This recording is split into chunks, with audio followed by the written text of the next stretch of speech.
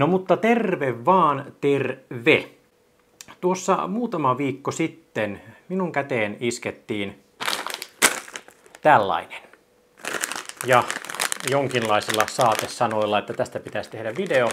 Syynä tähän lienee ehkä taannoinen hihna live, jossa tuli mainittua jotakin tähän liittyvää. Noita en ole muuten maistanut noita Turkish Pepper dominoita. Onko joku maistanut? Onko ne mitenkään niin yhtään mistään kotoisin? No, mutta minä en ole koskaan tykännyt sitä turkipippurista ylipäätänsäkään, niin no, ehkä pitää silti kokeilla joskus. Tehdä vaikka testivideo, koska niillä saa katsojia. Eli, eli, meidän olisi sitten kanssa tarkoitus tutkailla, mitä pitää sisällään Domino Mini Turkin pippuri makula, tai anteeksi, Tyrkis Pepper. Hän tämä näyttää olevan tässä. Otetaan hän tästä ihan ensin. Noin. Sieltähän se lähtee kaunista.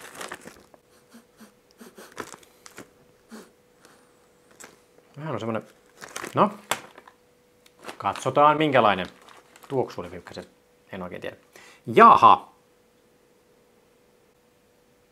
Että tämmönen sitten. Hän on aika synkän värinen jotenkin. Ja tämähän jää heti kaikki, jää... Jääkö normidominissa tällä tavalla kaikki röhnät käteen? En tiedä. Tää on vielä vähän viallinen. Pitäisikö, olisiko täällä mitenkään niin ehjempää tapausta? Ei.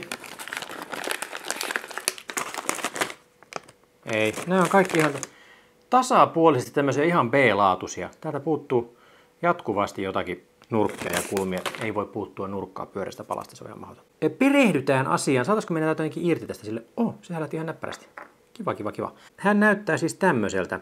Tämän mössön väri täällä on pikkasen tämmönen, tota, ei tämä nyt ole kauhean herkullinen, mutta ehkä me voitaisiin pistää kansi takaisin ja kokeillaan ottaa tästä semmonen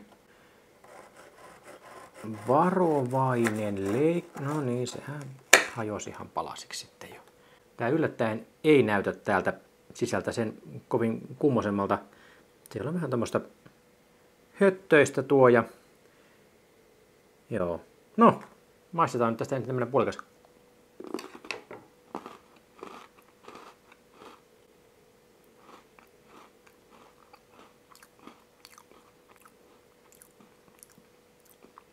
No.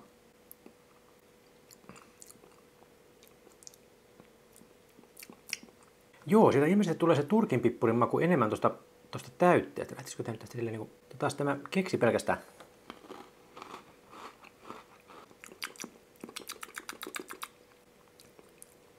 Joo. Pelkkä keksi on aika tommonen keksi. Ei oikein niin mitään, mutta sitten tämä, tämä, tämä mönjä,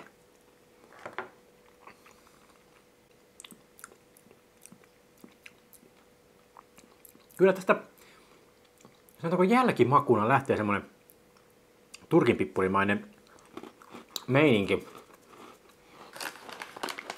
En ole itse siis mikään varsinainen turkinpippuritten ystävä kyllä, että sinänsä tämä nyt ei ihan, ihan istu. Joskus on uhrauduttava. Lörpähtää ihan silleen niin kuin Dominon kuuluukin lörpähtää lämpimässä Mm. Joo, se tulee vasta silleen loppuvaiheessa vähän se potku sieltä.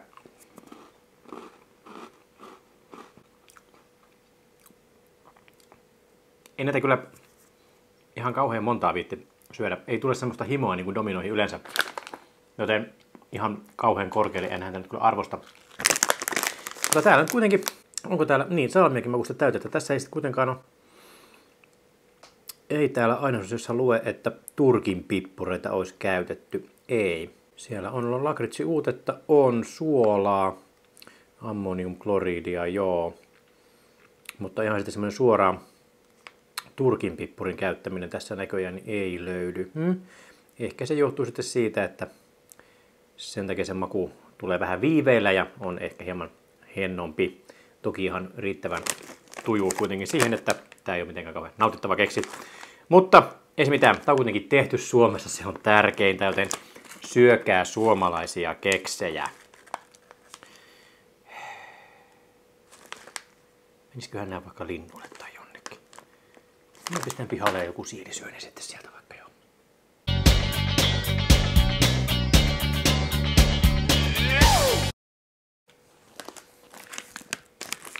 se unohtui vielä sanoa, että jos oot kovin tarkka ruokavaliosta, niin et välttämättä voi syödä näitä, koska... Tarkenna! Sit... Näissä